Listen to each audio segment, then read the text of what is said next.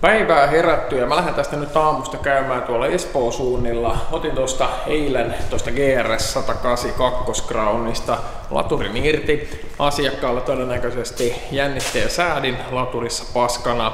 Eli siellä tällä hetkellä niin kuin tyhjäkäynnillä ty- melkein 16 volttia. Tosiaan myin tuosta ton yhden Mark X ja siinä sitten seuraavana päivänä laturin merkkivalo alkoi syttymään, mikä ei ole siis mikään kovin yleinen vika näissä GR-moottoreissa. Mutta välillä näinkin, käydään hoitamassa se kuntoon, niin saa asiakas sitten auton alle taas syksy on kyllä yhtä saibaa. Mä voin sanoa, että niinku lehti tulee ihan koko ajan tänne sisälle. Näitä saa joka päivä tästä aina roskia keräällä ja yrittää imuroida ja pitää siistinä, mutta ei. Koko ajan sitä tulee vaan sisältä. BBllä taas sitten liikenteeseen ja kyllä toimittelee.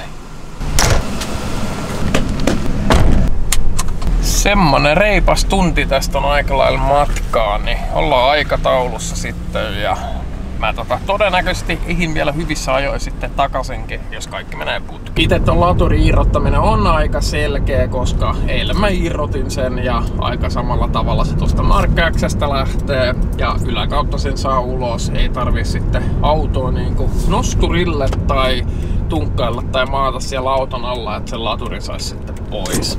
Aika pitkälti samalla tavalla kuin IS250 Lexuksessa. Siinähän on laturi sitten täysin samassa paikassa.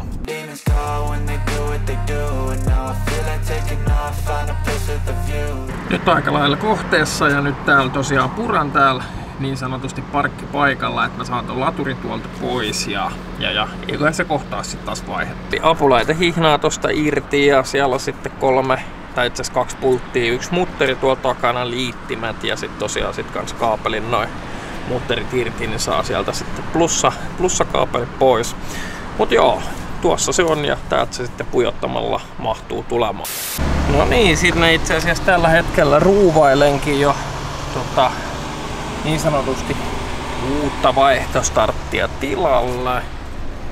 Vanha on täällä sitten ja jännitteen säädin on sitten tuolla tossa sisällä toi mötikkä, niin katon sitten firmalla, että saanko sen jännitteen säätimen tähän tilattua erikseen vai tarviiko sitten koko laaturin. Pitäisi saada toi säädin tuohon erikseen tilattua. Mut joo, sehän meni paljon sytjakkaammin kuin eilen. Eilen pois ottaessa, että tietää, tietää mitä tekee ja niissä on yksi tommonen mutteri tuolla takana, että se on vähän piilossa tuolla jemmassa, niin tota, nyt ainakin tietää sitten ihan niin sanotusti sokkona, että missä kohti se on. Ne vaan sinne paikolleen ja se alkaa olemaan sitten siinä ja toivotaan, että se latauksen merkkivalo on sitten hävinnyt sieltä. Nyt on laitettu kaikki nippuun ja se on sitten niin sanotusti totuuden hetki. Toivotaan parasta. Otetaan tuosta puhallustehoa pois ja ei siellä ainakaan nyt tätä latauksen merkkivaloa palaa. Mutta joo, se tuli kuntoon ja yksi asia hoidettu taas pois alta. Takas Mäntsälän suuntaan.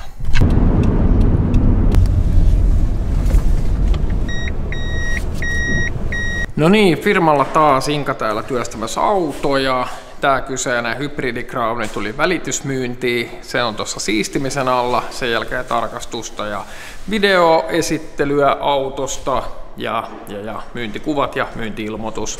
Mark X, sen tota kuvasin eilen sitten alta pois ja pitää näpytellä netin puolelle. Ja sitten tää Nissan Skyline 370 GT crossoveri, niin tota, tää sitten kans laittaa nettiin julki. Videoesittelyt laitoin YouTube-puolelle eilen illalla. Sitten se kakkoskoppainen BB, siitä kans laitoin YouTube-puolelle esittelyvideon. Niin noin kolme autoa laittaa sitä julki ja sitten ton Crownin kimppuun. Pihalla on sitten vielä muutamia autoja, mitkä pitää edistää kans sitten nettiautoa asti.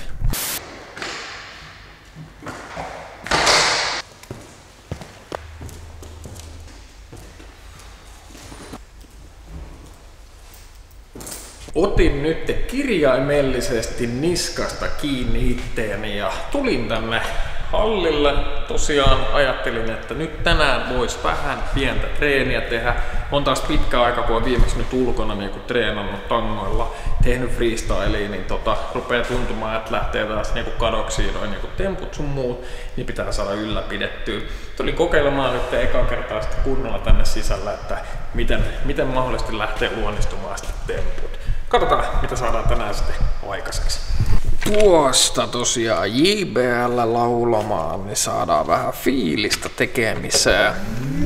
Jano tulee, niin vesipullo. En löytänyt vesipullo. Otin tämmösen tyhjän limupullon täytin vedellä, koska Jano tulee. Ja nyt ennen kuin lähtee taas rykäsemään tekemään kun noita niin sanotusti räjähtäviä liikkeitä, siinä tulee semmoista nopeata liikehdintää, niin pakko lämmitellä vähän noita olkapäitä. Muuten ei tykkää oikeasti. Ne on aika kipeät sitten, jos ne pääsee menemään kipeäksi. Ja ennen kuin lähden kuluttamaan tosta voimia, ja voimia kun on vielä jäljellä, kun ei ole vielä tehnyt mitään, niin kokeillaan miten lähtee full planche ja kauan siinä pysytään näin kylmiltä. Se ei nyt ota olkapäihin ainakaan, niin testataan.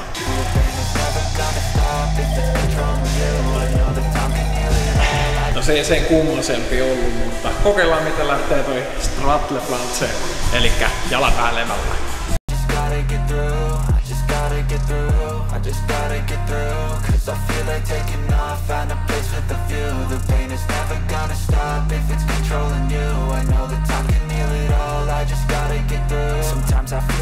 Is lost But I know it's not true. I wanna put up all my walls Cause I'm not in the mood. But then I cut myself off From the rest of the room. I know that time can heal it all If you're patient and soon.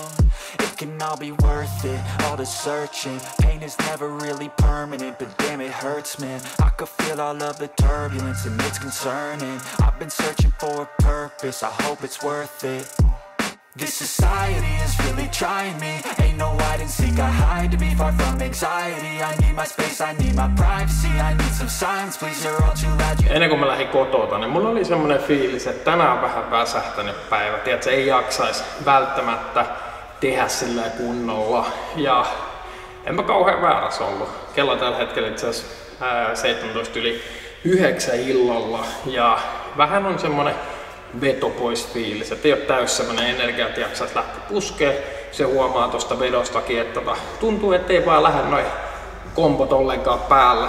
Et mitä tuossa pihalla on aikaisemmin tehnyt, niin temput tulee tosi hyvin päälle ja näin, mutta nyt tuntuu, että pelkkää epäonnistumista. Mutta välillä se on tällaistakin ja, ja, ja mutta mä yritän vielä jonkun kombon saada tässä päälle. Tuo on yllättävän raskasta, tuo oikeasti väsyttää tosi paljon ja vie energiaa. Ja tota, katsotaan mitä jaksetaan, mutta hetki huiliin ja kokeillaan tuossa vielä joku, joku kombo saada päällä. Saataisiin vaikka joku kolme temppua ainakin. Että tota, toivotaan näin. Don't speak quietly, opinions violently Thrown across every surface, it makes me nervous Is the world honestly burning, that's all I'm learning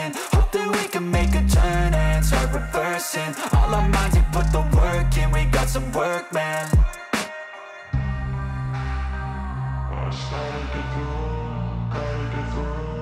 Siitä tuli se kolme temppua ainakin päälle, mutta voin sanoa kyllä, että ei ollut tänään ihan oma päivä. Mutta pienikin treeni on jotain ja seuraava päivä sitten katsotaan taas, kun aika on, niin pääsee tänne sitten taas kokeilemaan. Koton pitää yrittää noita staattisia liikkeitä saada pidetty kans yllä, niin tota, kehittää sitä voimapuolta sitten aika lailla. Eli nämä planchet nojavaat, mitä tuossa alussa kokeilin, niin käytännössä sitä. Se on nyt ihan hyvä aika lähteä kotiin. Huomenna taas uudet työpäivät pariin ja tota, Mark X GS lähtee huomenna asiakkaalle luovutukseen. Voitaisiin katsoa sitten vielä yhdessä läpi, että minkälainen kokonaisuus se on, kun se on nyt niin pesty ja luovutusta vailla. Niin tota, voidaan vilkaista, että minkälainen paketti on kyseessä. Mä oon nyt rehellisesti yrittänyt tässä niinku skarpata, että mä saan teille ajoissa taas uutta videoa ulos. Nyt on mennyt kyllä ihan älyttömän pitkiä aikoja. Et kerran kun se pääsee niinku lapasesta lähteä se, että se seuraava tulee, niin sit se on sitä samaa rataa. Mut nyt mä oikeesti, nyt mä yritän pitää kiinni ja saada tämän video teille viikon päästä siitä edellisestä videosta. Yritän kovasti. Ei varmaan ehitä. No ei se ehtinyt, jos olisi halunnut kylmää konetta polkea, mutta ei haluta. Kohtaa kuulkaas taas valkosta maassa. Enkä muuten yhtään kaipaa sitä tuohon maahan. Sanoin aikaisemmin, että voitaisiin käydä vähän tätä GS-paketilla varustettua tuota Mark X vähän läpi. Vilkastaan nyt sitä vähän yhdessä lävitse. Eli nyt pesty ja siistitty ja aika lailla luovutusta vaille. Asiakas tulee tänään illalle sitten hakea sen täältä. Eli autosta löytyy nämä tummapohjaiset LED-valot, todella tyylikkäät, sopii mun mielestä tosi hyvin tuohon. Korisarja, takapuskuri ja etupuskuri. Putkisto on neljällä ulostulolla. Sitten löytyy nämä 19-tuumaiset GS-vanteet. Siellä jarrusatulat punaiset, GS-merkinnät löytyy sieltä. Alusta sarjaa siellä sitten GSn. Tää K3,5 litrasella V6. Edestä löytyy myös sitten nelimäntäiset isot jarrut. Nekin on sitten punaiset ja GS-merkinnöillä.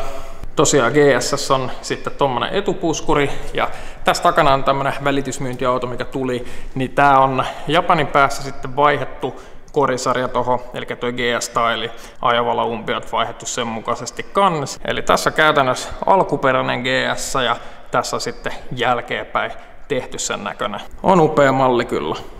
Vilkastaa sitten täältä sisältä, että miltä näyttää. Tosiaan avaimeton kulku, on avaimeton käynnistys.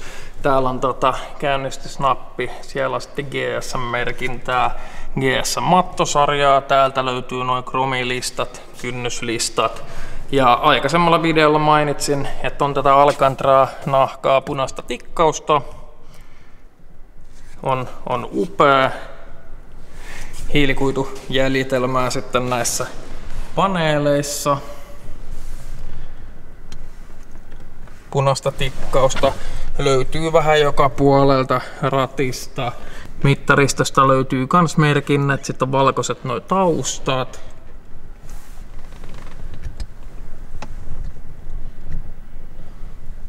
Voidaan vertailla kohta tuohon toiseen, että minkälainen sisusta siinä on.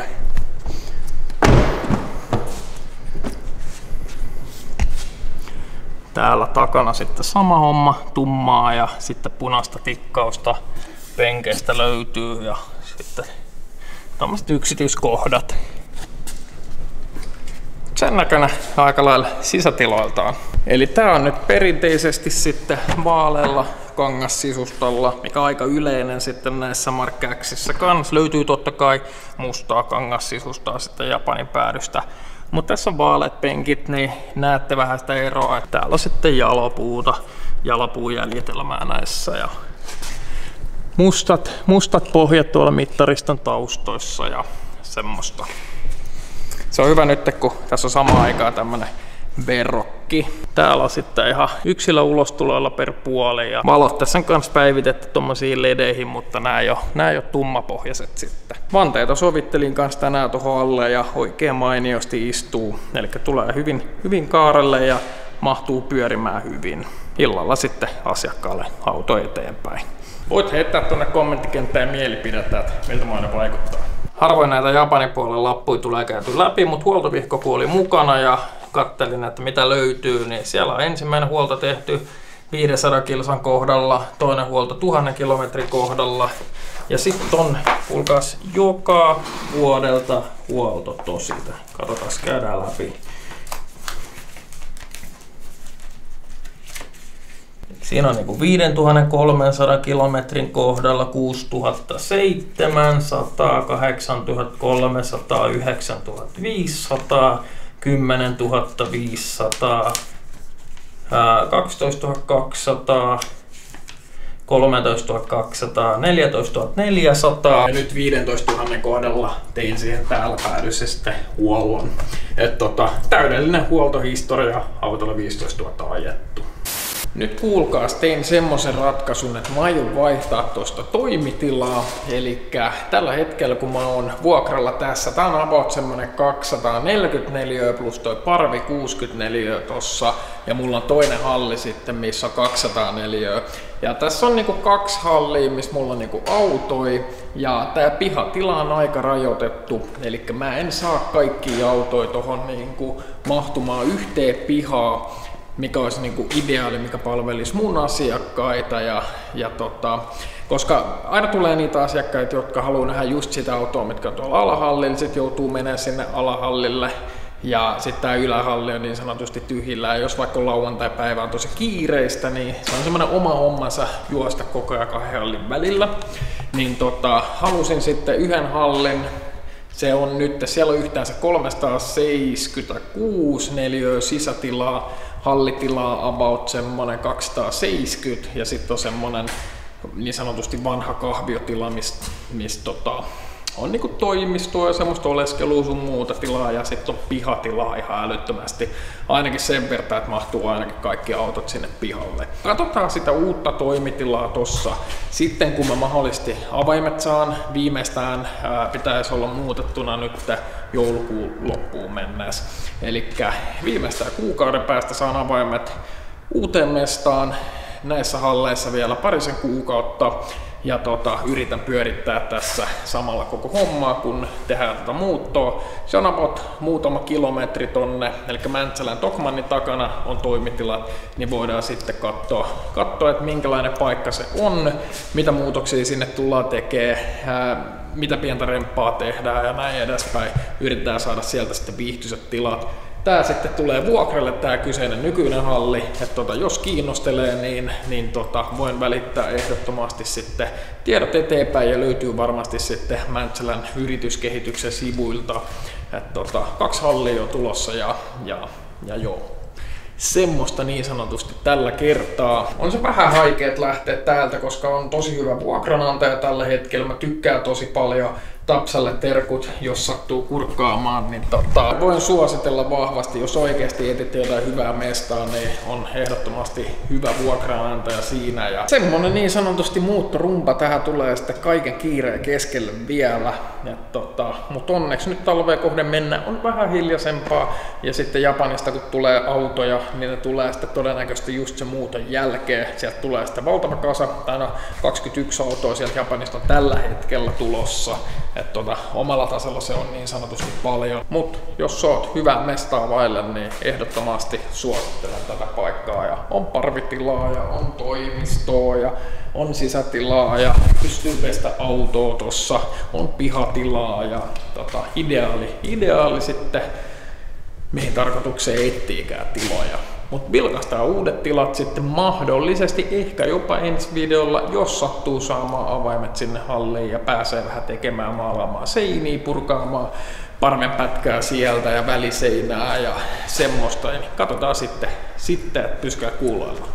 Vaihdossa tuli tämmönen Subaru Legacy GT, ahdettu neliveto mitä se oli, 112 000 ajettu, helmiäis valkee. että tota, tämä laitan seuraavaksi myyntiin, facelifti. Ja täällä oli kolari historiaa, konepelti, puskuri, oikea tuojavalo, lokari korjattu. Siellä on sitten kuvat, kuvat ennen ja jälkeen, että on hyvin tehty kyllä, että, että tota, ei sen puoleen. On, on siisti kapine, talvirenkaat löytyy, TT Hermo, moottorilämmitin siinä on ja semmonen tulee myyntiin 11,890 plus toimistokulut. Talvea kohde jollekin hyvä pulkka. Siitä sitten viimeistä tota, viime kuormassa tullutta autoa valmistelen. Itse asiassa tänään tein tarkastuksen sinne. Öljyt vaihdoin ilmansuodattimen ja raitisilmansuodattimen vaihdoin. Lauta sen takia, koska konepelli kaasujouset on väsähtäneet tyypillisesti näissä. Auto kaikki puoli ok, hyvässä kunnossa, ei mitään moitittavaa valomuutosta tähän sitten seuraavaksi tehdä. Puskuri irti ja valot pöydälle ja lähteä modaamaan. Tänään just en noita valoja lähteä tekemään, koska mä laitan nyt tota Subaru tonne myyntiin ja, ja sitten alkaa pikkuhiljaa ole päivä taputeltu. Sitten asiakas toi Kuben umpiot mulle, näihin mä teen projektorit tonne umpioiden sisällä, saadaan se valomuutos sitten tehty ja asiakas saa sitten leimattu auton. Autojen myynnissä ainakin ihan kiitettävä määrä. Ja hei, Instagramin puolella käykää ottamassa haltuun PM-myynti. Siellä on sitten tota, mitä liian ihme tarinaosioita. Siellä on semmoinen matkalla-osio. Sieltä näette, että minkälaista kalustoa sieltä Japanin päädystä on oikein tulossa. Voi laittaa viestiä ja voidaan katsoa sitten tarkemmat speksit, kuvat ja näin edespäin. Ja siellä on arvioitut niin kuin saapumisajat laitettu kanssa, että mitä ne olisi mahdollisesti täällä Suomessa.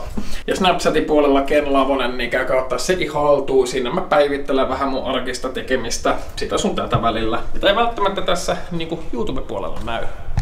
Mut joo, se alkaisi olla pikkuhiljaa video pulkassa. Mä kiitän erityisen paljon, kun katsoit video tänne loppuun asti. Tykkää videosta, jos tykkäsit, heitä kommenttikenttää. Jotain kommenttia, jos jäi jotain miele päälle. Nähdään taas ensi video parissa. Se on tältä erää. Morjes!